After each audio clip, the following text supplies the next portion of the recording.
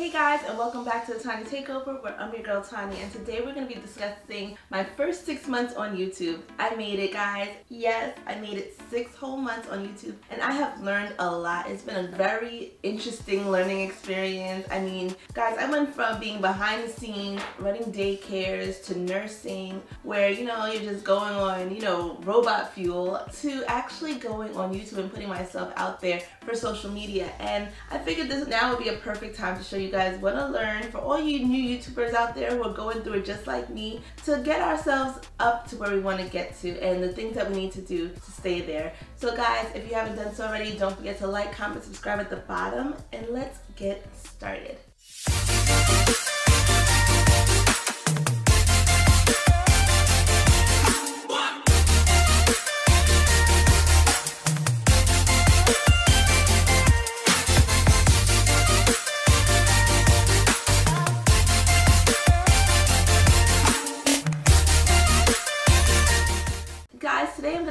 Discussing my first six months on YouTube and I'm doing this video because I know there are new YouTubers out there just like me who maybe started during the pandemic and you saw that you know now is a perfect time for me to put myself out there and see what I have to offer the world. So for a few of you guys out there who are just like me, stay tuned so we can go over our trials and tribulations, well my trials and tribulations with YouTube, what I've learned and how I intend to grow more. So one major thing that I learned with being on YouTube for six months is confidence. My first month on YouTube was so nerve wracking. When I say I didn't have a Facebook page, I didn't have an Instagram, I could not even imagine myself in front of a camera talking to people or even talking to myself and putting myself out there. But YouTube really forced me to get really comfortable with myself. I had to take a deep look into myself and say, you know, Tanya, why do you feel like this person can do it better than you or this person could be more successful than you or maybe this person is like skinnier than than you. I had to really take a look at myself and I realized that my confidence was lacking. I was always comparing myself to others. I was always saying, you know, I'm too fat, too skinny, too this, too that. And I actually stopped myself. I call it like self-limiting ideas. You have these self-limiting ideas in your head because you're looking on these social media platforms with these girls who have, you know, you know, they have work done, they go to the gym, and that's fine, that's cool. I'm not here to judge, but you know, not all of us are like that. Some of us are just regular, average girls or women who wake up, put their shoes on like the rest of us, go to work like the rest of us, hustle like the rest of us, and we don't have time for that. And those are the people I'm trying to reach because not every woman or every person fits into a box, and that's what I had to learn. I had to learn that through having confidence in myself, loving myself, I was able to see that there are other people like me, and those are the people who will connect with me and will grow together as a community, as friends, as, you know, just an alliance together and that's what YouTube taught me. I wouldn't regret doing YouTube. I mean there were plenty of times where I honestly I wanted to quit. I'm, I'm gonna be honest with you. I wanted to quit. I felt like nobody's watching, nobody cares. Maybe my personality isn't what somebody's looking for but I went through that honestly all throughout high school and elementary school and at this age, I'm like, you know what, I'm gonna be confident in my skin. I'm gonna do what I need to do. And I don't care if I put myself out for the world to see, I'm gonna do that. So definitely my first six months on YouTube taught me confidence in, you know, taking pictures, putting yourself out there, networking. You know, I go up to people now and I'm like, you know what, I have a YouTube channel. I have a YouTube channel whereas the first, you know, three months, I wouldn't tell anybody. I didn't tell my parents, I didn't tell anybody. So just putting myself out there allowed me to have more confidence and YouTube definitely helped with that. The second thing I learned while being on YouTube for six months is the tech stuff. The tech stuff will forever be my thorn in my side because I, guys, I, I still have my Android phone, I work my HP, and I'm comfortable with that. I am not very techy, and learning those kind of things are very, you know, like slow for me. I'm getting it, but you know, it's a little slow for me, I can admit it. So the tech stuff is what really got to me. It was like learning how to do thumbnails. I was doing thumbnails through programs like Canva and just watching a lot of other YouTubers who were going through it, who, who started off just where I was or well, just where I am and are growing. So I watched a lot of YouTubers like Cathrin Manning who, you know, blew up overnight, Kelly Stamps, just, you know, new YouTubers who are going through it and had the success in a matter of months or years. And learning the tech stuff is what really kind of deterred me from YouTube in the first place. Learning how to edit, learning how to do thumbnails, learning SEO and keywords and just normal things. And I think with YouTube, it's very good to educate yourself. Now, I myself use TubeBuddy and TubeBuddy is a very excellent program for those of us who don't know anything about SEO or keywords, beginner friendly. And that's what I loved about it. It really taught me a lot when it came to keywords and what people are searching for. So I would definitely suggest that you get educated on YouTube. You have to be educated in what you're putting yourself out there to do, whether it's full-time, part-time, everybody's in YouTube because eventually you want to make an income out of it. So with any job, you have to do training, you have to do research, you have to learn your skill, right? I don't feel YouTube as a competition. I think there's room for everybody in this platform. It's all about helping one another because there's some things when I came in I did not know at all. I was learning straight from scratch. There was nobody around me who was even doing or thinking about YouTube. And when I told them I was doing YouTube, I got the side eye like, Tanya, girl, you don't have nothing else to do than to put yourself out there. But the reception after that has been amazing. And learning the tech stuff is a very major key. Make sure you stay educated on exactly, you know, what's changing with YouTube. This YouTube algorithm that I still don't even understand. I don't think anybody will ever understand this algorithm, but just getting yourself educated and getting better at your craft. The next tip I would say is to do your research. It's one of those jobs where you have to be self-sufficient and you determine how well you do or you're, whether you fail in it or whether you're successful in it. So make sure that you're doing research like SEO, finding out about keywords, what programs would help you with, with ranking your videos to the highest level that it can be. Um, it takes time and it takes work. YouTube is not something that you can just turn on and just go. There's a lot of background stories because as soon as you're finished recording that video, you have to edit it, you have to find the SEO for it. You have to find the keyword, optimize it. I don't even know what words I'm talking about right now because I'm still learning. But there's there's a plethora of people who are wonderful on YouTube who are very helpful with YouTubers like myself and like you that we can go to for resources. And I will definitely link them down below, ones that I really liked or enjoyed or used and learned from. But YouTube is something that you have to, you're constantly learning until you get to that point where you feel like you know it all and then the algorithm changes and you gotta learn it all over again. So make sure that you're putting in the work and learning and taking time to learn how to get better and how to get better at your craft because that determines how successful you're gonna be at the end. My next tip is to not to stress the small stuff okay? So I have a story for you guys. About a month ago, I was feeling really motivated. I said, you know what? I'm gonna go home and I'm gonna record just five videos all at once. I had my camera set up, I changed my clothes five times. I was doing my hair, I was doing my makeup, I was really talking to the camera. When I was talking to the camera guys, I was using, like, I was being funny, I was hilarious, I was really showing personality. I was so proud of myself. Went to go and play back the recording and no sound. All you saw was this.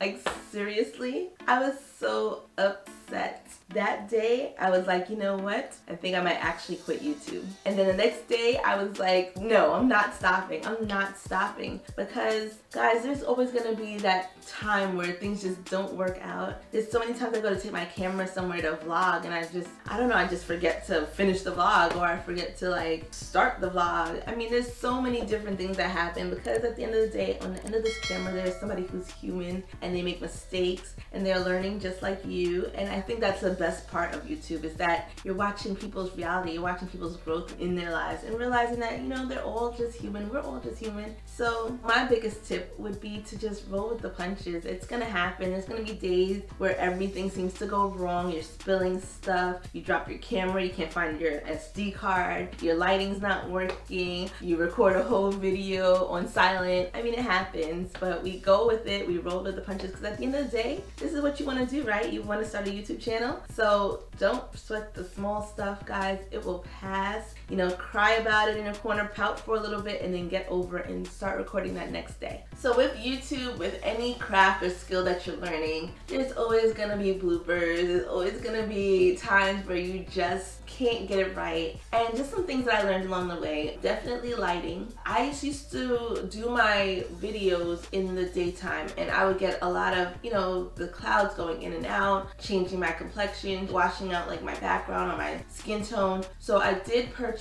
like lights that I do use because when I film, I film in the morning, I film at night, I film, you know, when I'm not tired, I film anytime but I feel like I have something to say, I turn on the camera and I get going, okay? So don't let lighting or anything like that stop you. And of course, with YouTube or anything else that you're learning, it's gonna be an investment. Invest in your skill, invest in your craft so that you can get better. That's the whole point of this is to get better. I mean, I know in the beginning when I first started my YouTube channels, if you could see back from my beginning YouTube channels, they were dark. I was moving the camera way too much. I would watch back my own videos and get dizzy and feel nauseous like, girl, keep your camera still. But these are all learning curves that you learn along the way. And you can have all of the equipment in the world or you can just record on your iPhone. But ultimately it's what you have to give and what you have to put out what makes your YouTube channel. So I definitely went through some trials and tribulations and you know I'm sure a few of you have too so definitely what I learned from YouTube is to be resilient get past it you know that was yesterday let's go into today because we're going to try this over again okay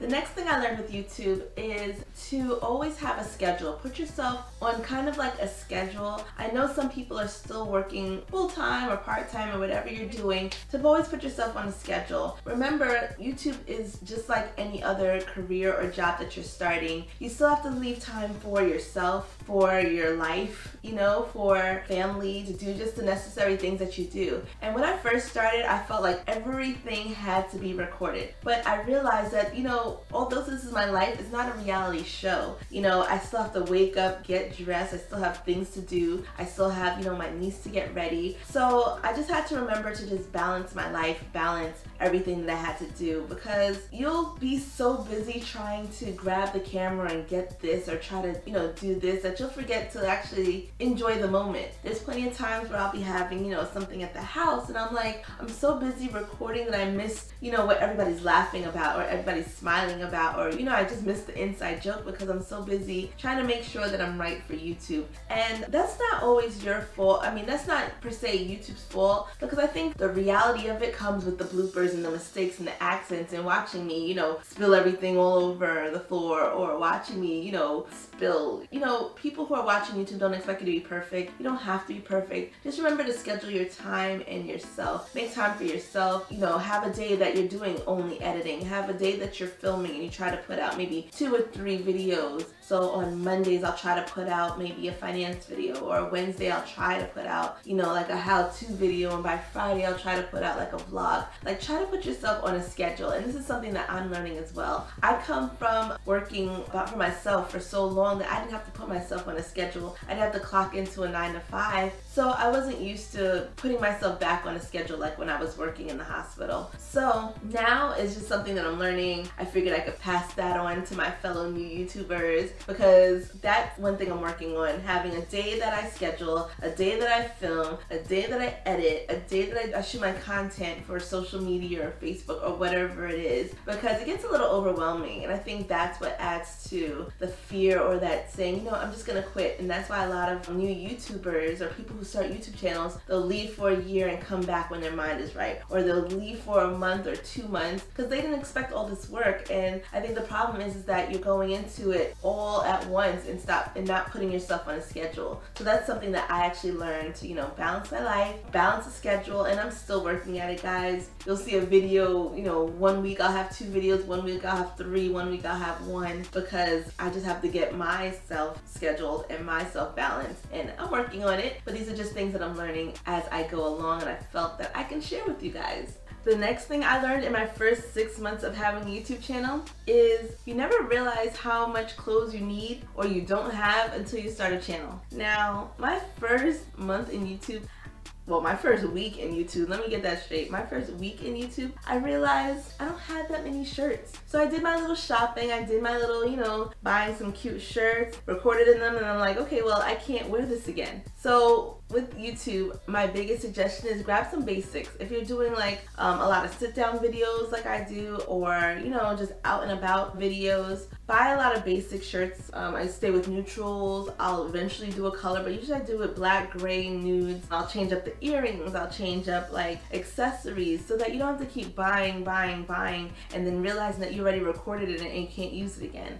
Um, I'm the kind of person I don't really like to be in the same outfits. Of course, I have my favorites, and guys, please trust and believe when this camera is not on, I have my sweatsuits, my sweatshirt on, you know, my hair is up, and I am just looking regular. This makeup comes off and I am on the couch relaxing, okay? But once you press play and you're starting a YouTube channel, you have to realize that your clothes have to be, you know, ironed. Make sure they're ironed because there's a few videos in the beginning where I had, they weren't even ironed. I'm looking like it, like Tanya, come on, get this together. So make sure that you're going out buying basics. I go to places like H&M. They have a lot of basics that are under $10 or um, of course Fashion Nova I like to go to and just basic places. Even Old Navy. Old Navy has basic shirts that you could dress up, put a, like a layered chain on, some hoop earrings, and you were good to go. So make sure when you're ready to record your film or your video, make sure you have an idea of what you want it to look like, what you want your background to look like. I invested a lot into my background, um, making sure that it was aesthetically pleasing.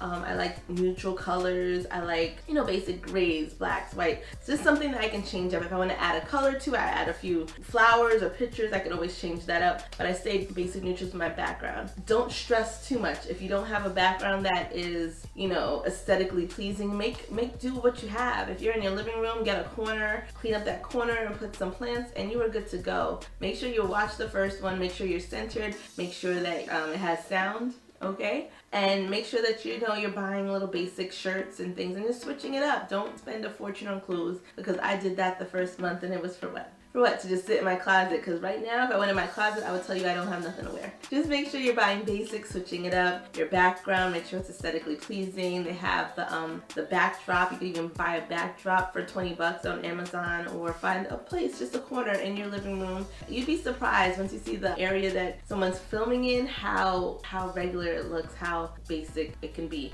Um, another great trick I got was if you're having like a lot of echoing. In my bedroom, I have furniture, but I don't have a lot of furniture. I hate clutter. So what I did was I'll put like little blankets or carpet down because I don't have carpet in my room. I'll put blankets down just to absorb some of the sound and the echoing. So yes, just make sure that you're researching, finding things that, you know, little tips and tricks that we could learn from each other when we're doing our channel so that if I learn something, I will definitely share with you guys. And please comment down below. Let me know. Let me know what little tips and tricks you have as a new YouTuber that you can share with the group.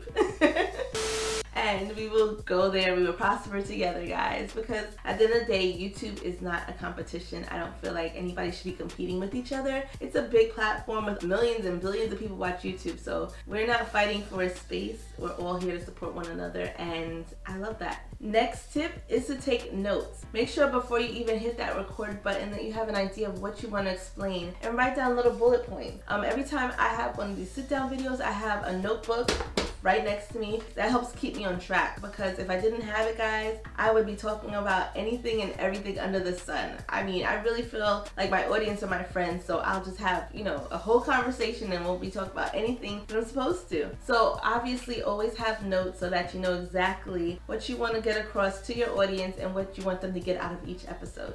Another thing that I struggled with is, you know, editing. Editing takes the longest. It's so hard. Anybody who does editing knows that it takes hours. You could do a video for an hour and record it and be done, but that editing is gonna take you another six to seven hours, maybe a day or two, and you still won't get it the way you want, but it's a skill that you have to learn and keep trying and striving towards. So research, you know, you go to YouTube videos and see what other influencers did, how they grew and how they got better at their craft, what kind of um, thumbnails they're putting in, what kind of titles they're using, just things that you need to learn in order to be better at your skill. I think you only get out as much as you put in. So you have to put in the work, guys. YouTube isn't just, you know, press the button and record and you're done. Then you gotta edit. You gotta, you know, get music for your videos to bring them alive. For my music, I personally use Thematic. Um, I think they have a great array of different music choices and I've just been working with it. I, you know, I like that you can't really get copyrighted for it. All you have to do is list it at the bottom just so that they know exactly who the artist was. And I would highly recommend them. Just little tips and tricks that I've learned along the way and I'm just as happy to share with you guys because I know there's somebody else out there. Yes, I have a little 400, I think 55 subscribers, but to me that is amazing because in life I don't know 450 people. So I am grateful that I even made it this far.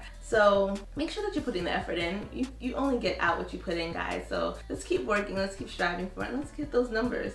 Last and final thing I learned from being in YouTube is to keep going and keep going, guys. We're not quitting just because, you know, you only have 100 subscribers or 455 subscribers or, you know, 700 or 1,000. We're to keep going. We're to keep going because all these big, huge YouTubers that have 100,000 subscribers and 500,000 subscribers, you know where they started off? With one subscriber. And that's what really keeps me going, keeps me motivated because I see these huge YouTubers who are doing it and I'm like, what is so different about them or their lives or how they're speaking, how they're um, interacting with their audience that I can do and that I could do better. But it's not that, it's that one has consistency and one kept going. One person gave up when the other person just, you know, dusted themselves off when they sat there recorded for three hours straight with no volume. They dusted themselves off and they kept going. So that's what really pushes me to keep going and keep striving towards what I want. And that is to be an influencer, that is to be a full-time YouTuber and to give knowledge and give a home to people just like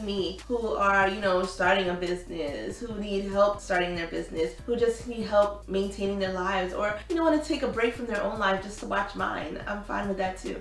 So the main thing I learned is to keep going, not give up. Don't put yourself down. Don't compare yourself because girl, you got this. We got this and we're going to go on and strive together. And I'm so happy I was able to do this video with you guys. I cannot wait to get to my thousand subscribers so that, you know, we can grow together. So um, as always, guys, don't forget to like, comment, subscribe at the bottom, and I will see you guys next time. Bye.